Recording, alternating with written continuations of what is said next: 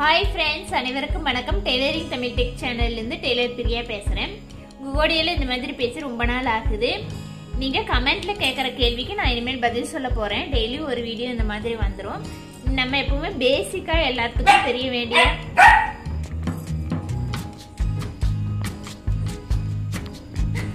அங்கே வேற எங்கள் குட்டி லக்கி கத்திட்டு இருக்கு. எங்களுக்கு எல்லாம் கூப்பிடுது. ஓகே நம்ம வீடியோக்குள்ளே போகலாம் நான் இன்னைக்கு நம்ம என்ன வீடியோ பார்க்க போகிறோம் அப்படின்னா பேசிக்காக எல்லாத்துக்கும் தே- ஏற்பட சந்தேகம் தான் ஃபஸ்ட்டு நம்ம ஸ்டார்டிங்லேருந்தே வரலாம். இப்போ நம்ம ஒரு ப்ளவுஸை கட் பண்ண போகிறோம் அப்படின்னா அதை எந்த மாதிரி பொசிஷனில் நம்ம கீழே விரிச்சு விடணும் அதை எப்படி நம்ம கட் பண்ணணும்னு நமக்கு தெரியணும்.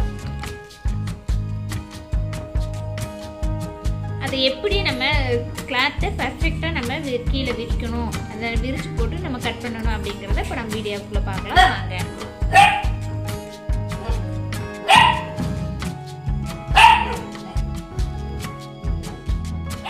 இப்போ ஸ்டிச்சிங்கில் பேசிக் லெவலில் இருக்கிறவங்களுக்கு கண்டிப்பாக இந்த சந்தேகம் இருக்கும். கிளாத்தை வந்து எந்த மாதிரி மடித்து போடணும் அப்படின்னு.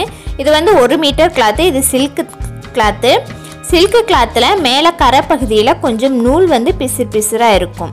அதாவது முடிச்சு முடிச்சா இருக்கிற மாதிரி இருக்கும். இப்போ கரை பீஸ் அப்படின்னா எப்படி இருக்கும்னா கண்டிப்பாக அந்த இடத்துல ஃபினிஷிங்காக இருக்கும் உங்களுக்கு நூல் கொஞ்சம் கூட பிசிறு இல்லாமல் இருக்கும். அதுதான் கரை பீஸு மற்ற சைடில் நம்ம கட் பண்ணியிருப்பாங்க அதனால கொஞ்சம் பிசிறு இருக்கும். அந்த கட் பண்ண கிளாத் வந்து உங்களுக்கு லெஃப்ட் சைட்லேயும் ரைட் சைட்லேயும் இருக்கணும். அந்த கரை பீஸ் கரை பீஸ் வந்து மேலே இருக்கணும். இந்த மு முடிச்சு முடிச்சா இருக்கிற பகுதி மேல் பக்கமாக இருக்கணும். நான் வந்து கிளாத்தை ரெண்டாக மடித்து போட்டிருக்கேன். இப்போ உங்களுக்கு மேல் பக்கம் அந்த கரை பீஸ் வர மாதிரி தான் கண்டிப்பாக போடணும். அது லைனிங் கிளாத்தாக இருந்தாலும் சரி நார்மல் ப்ளவுஸாக இருந்தாலும் சரி மேலே கரை பீஸ் வர மாதிரி இந்த மாதிரி மடித்து போட்டுக்கோங்க. உங்களுக்கு லெஃப்ட் சைட்லேயும் ரைட் சைட்லேயும் இந்த மாதிரி பிசு பீஸ் வரணும். கீழ் பக்கமாக உங்களுக்கு மடித்த கிளாத்து அந்த மடித்த மடிப்பு பகுதி ஃபோல்டிங் பகுதி வரணும். இந்த மாதிரி தான் நீங்கள் எப்போவுமே கிளாத்தை மடித்து போடணும். இது கமெண்ட்டில் கேட்டிருந்தாங்க. அது மட்டும் இல்லைங்க கட் பண்ணுறவங்களுக்கு ஸ்டார்டிங் லெவலில் இருக்கிறவங்களுக்கு கண்டிப்பாக இந்த சந்தேகம் வரும். அந்த மடிப்பு பகுதியை என்ன பண்ணிடுவாங்கன்னா கரை பகுதியை லெஃப்ட் சைட்லையும் ரைட் சைடு வர மாதிரி மடித்து போட்டுருவாங்க. அந்த மாதிரியெல்லாம் மடிக்கக்கூடாது. கண்டிப்பாக அந்த கரை பகுதி உங்களுக்கு ஆப்போசிட் சைடு அதாவது மேல் சைடில் தான் வரணும். ஃபோல்டிங் பக்கம் கீழே இருக்கிற மாதிரி விரித்து போட்டுக்கோங்க. உங்களுக்கு லெஃப்ட் சைட்லேயும் ரைட் சைட்லேயும் அந்த பிசு பீஸ் வரணும். இந்த மாதிரி தான் நீங்கள் லைனிங் கிளாத்தாக இருந்தாலும் சரி ப்ளவுஸ் பீஸாக இருந்தாலும் சரி இந்த மாதிரி தான் மடிக்கணும். அப்போ தான் அந்த நூல் இலைகளுக்கு தகுந்த மாதிரி உங்களுக்கு கட்டிங் ஸ்டிச்சிங்கில் உங்களுக்கு ப்ளவுஸோட ஃபிட்டிங் கரெக்டாக வரும்.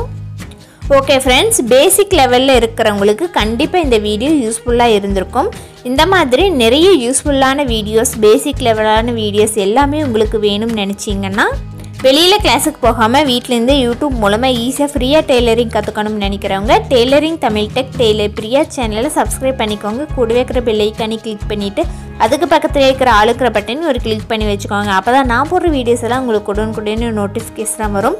கண்டிப்பாக மற்றவங்க சொல்லித்தர முறைக்கும் நான் சொல்லித்தர முறைக்கும் கண்டிப்பாக டிஃப்ரெண்ட் இருக்குது இந்த மாதிரி முறையை நீங்கள் எந்த சேனல்லையுமே பார்த்துருக்க மாட்டீங்க. ஈஸியான சிம்பிளான முறை முறையில் தான் நான் டீச்சிங் பண்ணிகிட்ருக்கேன் கண்டிப்பாக நம்ம சேனலை சப்ஸ்கிரைப் பண்ணிக்கோங்க.